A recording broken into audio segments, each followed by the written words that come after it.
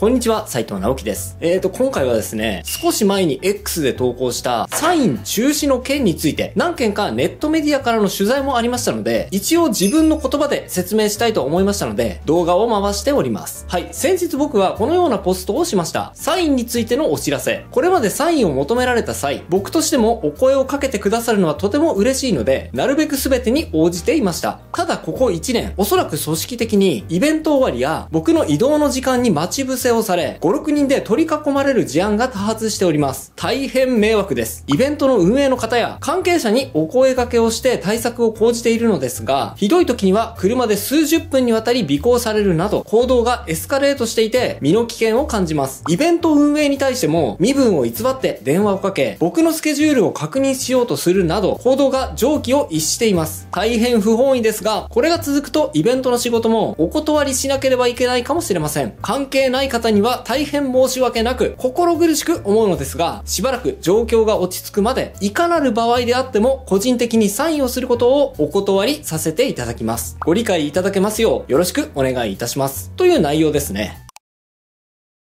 はい。もう少しこの件について、順を追って説明するとですね、2月24日に漫画家のぬこうさまちゃんとイラストレーターのイクシーさんと僕の3人でお絵かき教室のイベントがあったんです。そのね、お絵かき教室自体はすごく和やかに問題なく開催できたんですが、会が終わって移動の時にそれは起こりました。僕、ぬこうさまちゃん、そしてイクシーさんがイベント会場のね、裏手に止めてある車に乗り込んで、イベント会場を後にしようとした時、おそらくね、男性4人組組ぐらいだったと思います。こちらにね、詰めかけてきました。まあ、後でね、説明するんですが、こういったことを事前に僕は予想していたので、その時は裏口に車を止めておいてもらって、彼らに発見される前に素早く移動する計画だったんですが、相手のね、動きも素早くて、こちらの動きを察知されて、移動する姿もね、発見されてしまいました。でね、車がね、出発したので、もうそこでね、諦めるかと思ったんですが、僕らの車が出発したのを発見した彼らは、そのまま近くに止めていた車に乗り込んで、そこからね、こう20分か30分ぐらいだったと思います。しつこくね、車で尾行してきました。この部分はね、同乗していたヌコー様ちゃんが、このようなポストを残してくれていますね。はい、このポストにもあるように、僕らは彼らの追跡を振り切るように、入り組んだ路地に入ったり抜けたりをしながら、なんとかかわそうとしていたんです。ですが、追跡に慣れてるのか、何度振り切ろうとしても、発見されてしまって、追跡をかわせませんでした。全くね、拉致が開かない状況だったんですが、たまたまイベントに参加してくださっていて、車にもも同乗されていた作家で編集者の草加信也さんがですね、もう直接話し合いましょう。なんなら僕が話つけますよ。とね、すごく力強く言ってくださったので、僕らはですね、交番近くの人通りの多い場所に車を一時停止して、彼らを待ち受けることにしました。で、彼らの車も僕らの車の20メートル先ぐらいに停車したんですが、結局彼らは車を降りることなく、その車にね、僕らが近づいていったところ、そのまま発車して行ってしまったというのがこの時の出来事でした。いや、こういうことがね、ここ1年ぐらい続いているんですが、その時はね、ぬこうさまちゃん、イクシーさん、草加信也さんをはじめ、ちょっとここでは名前を伏せますが、イベントスタッフの皆さんがついてくださっていたおかげで、事なきを得ることができました。改めて、ありがとうございました。これね、他人事だと、ちょっとしたネタぐらいに思うかもしれないんですが、これね、自分の身に起こると結構恐怖ですよ。実際にね、同乗していたぬこうさまちゃん、まあ、自分でもネタにしているんですが、結構大柄な大男ですよ。でもね、そのぬこうさまちゃんでも、いや、めっちゃ怖かったです。って言ってたくらいです。いや、マジで怖かったです。ただね、じゃあなんで僕がこの件について予想できていたのか、車を裏口に配置しておくようにスタッフの方にお願いしていたのかっていうと、実はね、ここ1年ぐらいかな、こういうことが続いていたからです。多分ですね、ことの発端は、僕が原宿で作品の展覧会をやったことがあったんですよ。それが2022年の9月だったんですが、その時にはね、僕は求められれば、全ての人に断ることなくサインをしていました。で、その展覧会でも、多くの人が見に来てくださって、で、その中には、僕が書いたカードにサインが欲しいっていう人もいらっしゃったので、それに対してね、サインをしていたんです。ただ途中からですね、その数がすごい数になっちゃって、展覧会の会場の中にね、サインの行列ができてしまったんですね。で、その時は忙しさのあまりに、そこまで深く考えずに、求められるままにサインを書いちゃっていたんですが、後になってからですね、その出来事が、ある海外の転売ヤーが人を雇って組織的にサインに並ばせていたということが分かったんです。で、そう言われるとですね、サインに並んでいた人の客層がちょっと変で、すごく年配の中国系の方が結構な割合で含まれていたので、いや、なんかちょっと変だな。僕のファンって10代から30代ぐらいの人が、まあ、多めなので、ちょっとそれは不思議だなって思ってたんですよ。まあ、年配の方だけじゃないですけどね。でもね、こんな年配の方まで、しかも海外の方なのに熱心に並んでくれて、その時はすごく嬉しく思ったので、わざわざありがとうございます。あ、なるほど。お孫さんのために並んでくださっているんですね。家族思いですね。じゃあしっかりサインしましょうね。とか声をかけつつ、サインに応じていました。ただね、その時はこれも気づけず、まあ、本当に恥ずかしいんですが、僕はサインには必ずその方の名前を書くようにしています。何々さんへってね。ただその時は、海外の方がすごく多くいらっしゃったのと、僕は中国語がわからないので、すいません、言葉で言われてもちょっと書けないので、自分の名前を紙に書いておいてくれますか？と伝えて、で、紙に書いてもらった名前をサインしていたんです。ですが、その名前がですね、僕はその方の名前か、ハンドルネームだと思っていたんですが、実はそれがですね、カードに書かれているキャラクターの中国名だったっていうことが、後からになってね、分かったんです。いやまあ、後から冷静になって考えれば、いやなんで気づかなかったんだろうって反省したんですが、その時はね、まあ必死だったので、とね、気づけなかったんですね。それにですね、僕はその人のことを信用して、疑わなかったので、まあ、あんな態度で平然と嘘をつけることに、ちょっとね、ショックでした。あ、一応ね、断っておきますが、別にね、こういうことがあっても、僕はその国の人が全員、こういうことをする人ばかりだとは、全く思ってません。多くの方々はすごくいい人で、紳士的な方々ばかりだと、僕は知っています。ですが、こういった一部の心ない人の行動は、何よりも自国の善良な人たちに対する冒涜でもあると思いますので、ここはね、厳しく慎んでほしいです。で、そういったことが2022年の9月にありまして、でそこからちょっとずつそういったことが増えてきました。この時と同じように、リアルイベントにね、参加すると、またおそらく雇われたであろう海外の方が複数人ね、何度にもわたって、あ、おそらく転売目的なんでしょうね、サインをねだってくるということが何度もありました。そういったことがあって僕としては、イベントの運営にも迷惑がかかってしまうと判断して、そこからはね、一般の参加者が自由に出入りできるような、まあ、要するに集団で詰めかけられる可能性があるようなイベントには出演しないようにオファーがあってもお断りするようにしていたんです。まあ、イベントをお誘いしてくださる方に対しては、まあ、せっかく僕にオファーをくださっているので、これはね、大変申し訳なかったです。実はそういうバックグラウンドがありました。ただ、そうしたところ、代わりに増えていったのが、今回のような出来事だったんですね。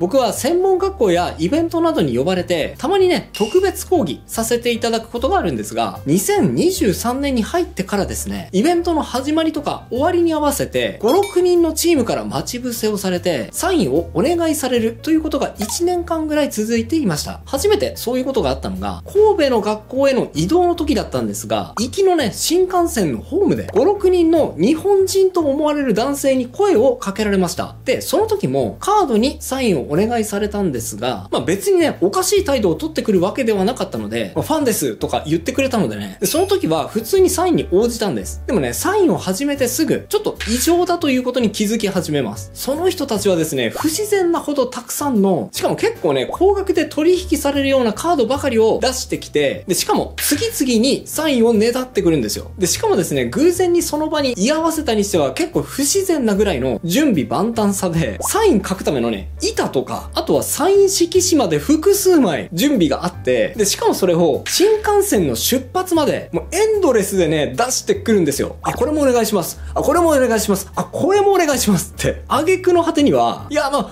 もう一枚お願いします。これはあの、病気の弟のためのカードなんで、これにはぜひ書いてください。とかね、むちゃくちゃ言ってくるわけですよ。いやもうここまで行くとちょっと異常だなと思ったので、あ、もう新幹線が着いちゃったから、急いでるからごめんなさい。って言ってその場からは立ち去ったんですが、がで、驚いたのはその日の帰りです。朝そこを出発して、で、イベントが終わって夜になって、で、また同じ新幹線のホームに到着するじゃないですか。その新幹線の改札を抜けたところで、また同じグループに声をかけられたんですね。斉藤さん、さっきもらえなかった分、またもう一回お願いしますって言うんですよ。いやまあ、言葉はね、敬語ですよ。でも、明らかにおかしいじゃないですか。はい。で、そこでもね、複数枚にわたってサインをねだられました。でまあ、これを言うとね、もしかしたらこう思う人人もいるかもしれません。え？普通に断ればいいじゃん。っていうかもう転売禁止とかカードに書いてやれよくね？もうサインの横にうんこでも書いてやれよってね。まあ実際にそういうコメントもいただきますし、気持ちわかります。でもね、考えてみてください。そんな異常な行動をしてくる人たちに対して、もうね、闇バイトとかかもしれません。まあそういう人たちに対してね、わざわざそんなことしたら、その後何されるかわからないわけですよ。まあ、後になってね、あの時こうすればよかったんじゃないか、ああすればよかったんじゃないかってね、まあいろいろとすべき行動を振り返ったりはするんですけど、その時はね、もうやり過ごすことぐらいしか考えつきませんでした。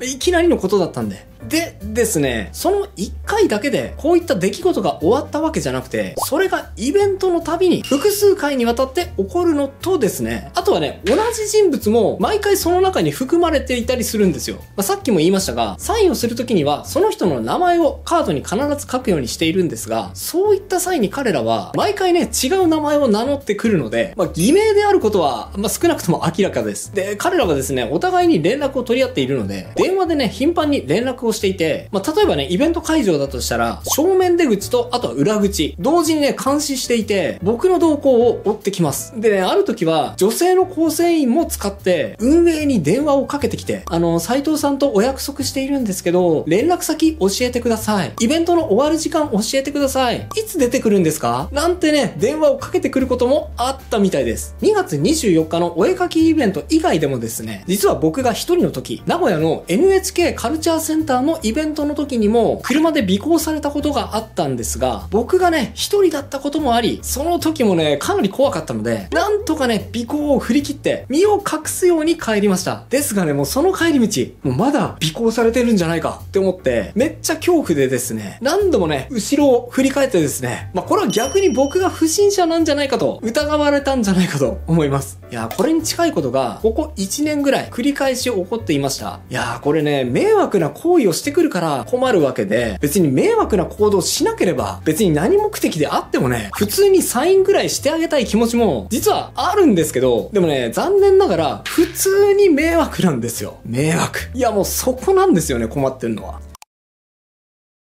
はい。それで、サインも含めた今後の対応なんですが、最初にお伝えしたように、申し訳ないんですが、しばらくサインについては全面的にお断りをさせていただきたく思います。もうね、気持ち的にはお願いされたらめっちゃしたいですし、なんならね、もう子供にだけでもしてあげたいなっていう気持ちあるんですが、でもね、そうすると今度は、じゃあもう子供何人も雇ってサインさせたろみたいに子供をね、万が一利用されたとしたら、さらにいたたまれないことになってしまいそうな可能性があるので、いやもう本当に申し訳ないんですが、サインはしません。例外は一切なしでよろしくお願いします。はい。病気の弟のためにもサインしません。はい。そこまでね、念押ししておきます。いやもう、バレバレだからね、マジで。それとね、今回の一連のポストを見て、たくさんのご心配の声をいただきまして、大丈夫？身の安全を一番に考えてね、っていうお声を多数いただきました。はい。ありがとうございます。そしてね、心配しないでください。これはね、先日ポストした画像なんですが、しばらくはね、こんな感じで、プロの SP を伴って移動しますので、仮にね、変な輩が近づいてきても、プロがねじ伏せてくれると思います。まあでもね、サインはしばらくしませんが、まあ、需要があるかどうかはまあ別として、挨拶とか